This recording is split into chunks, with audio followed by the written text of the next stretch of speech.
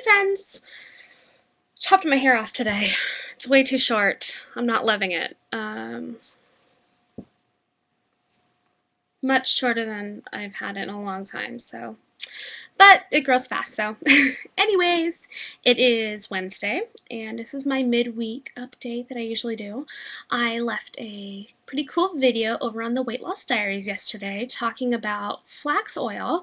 So if you haven't already, go and check it out. I will post a link. Um, flax oil is one of my favorite things to add to foods in replacement of like butter or oil um, when I'm using it for, you know, an additive rather than cooking with it. So check that out.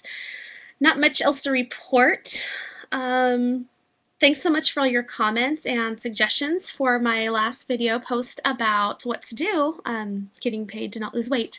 I definitely am going to make it right up to that limit that I can reach, which I think was either it was 186. I don't know. I'm going to try and get there as fast as I can so that I'll just maintain at that throughout the study that I'm part of. But as you many of you said, yeah, $2,000 will definitely be a great advantage to lose the rest of that weight. I know I can get to goal with $2,000, especially if that would pay for, well, one, that would pay for a two-year prepaid gym membership.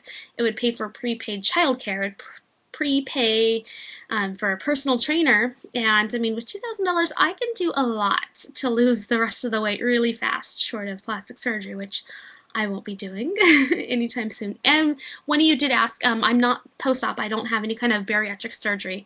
I'm just doing this on my own, um, counting calories, example, um, exercise. So anyways, this week has been okay so far. Uh, definitely something going on hormonally for me because I am just irritable and I'm craving food, so I'm not pregnant. Don't even think that. I think it's just, you know, monthly visitor friend. So, which if I did the study, apparently I will possibly lose that. I'm excited about that part. I would love to not have my female monthly visitor friend she can just go away, stay away. I don't need her anymore. So hooray for that.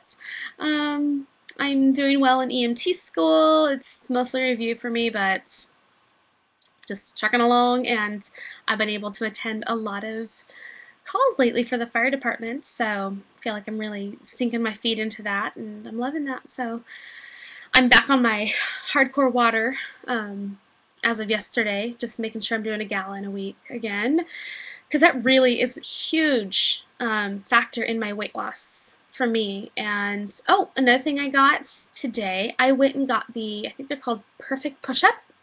It's these little things that help you do push-ups better because I have really difficult time doing push-ups with my wrists. They hurt pretty bad.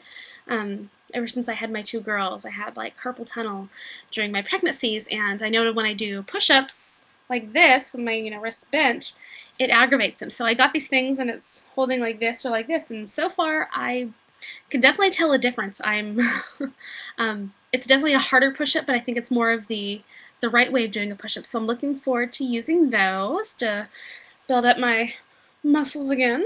Um, so that's about all I have for now. Short video. I just haven't done one of these in a while, so my apologies for that. So um, I guess I don't have anything. God, this hair, this short hair, it makes my face look so fat, you guys. Ugh.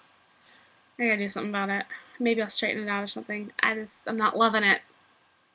Oh well.